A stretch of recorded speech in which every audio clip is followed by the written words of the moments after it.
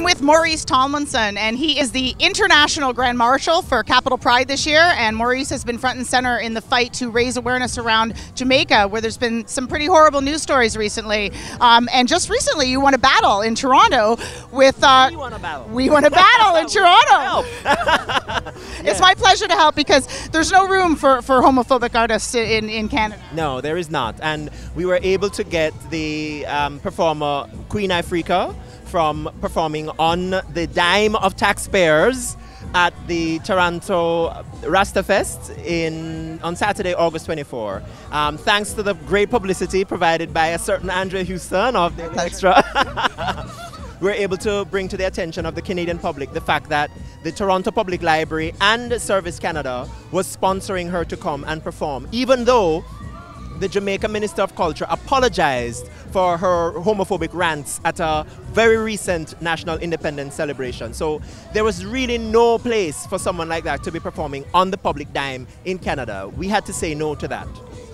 And she has expressed her support for the sodomy laws in, in Jamaica, something that uh, the Prime Minister right now is uh, speaking out on. Yes, the Prime Minister, when she was inaugurated, or when just before she was inaugurated, she did say that she was going to call for a review of the anti sodomy law because she does not believe that LGBT should be discriminated against.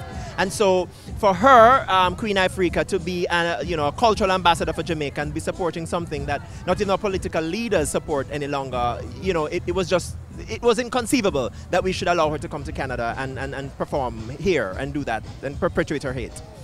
Uh, has the tide turned in Jamaica? Are we, are we, are we looking at a, a brighter future there? I mean, we're beginning to see glimmers of hope. I mean, the fact that the Minister of Culture condemned Ifrica's performance after the national independence celebration is very significant because last year, Ifrica's partner, Tony Rebel, did the exact same thing at the exact same venue and there was no outcry.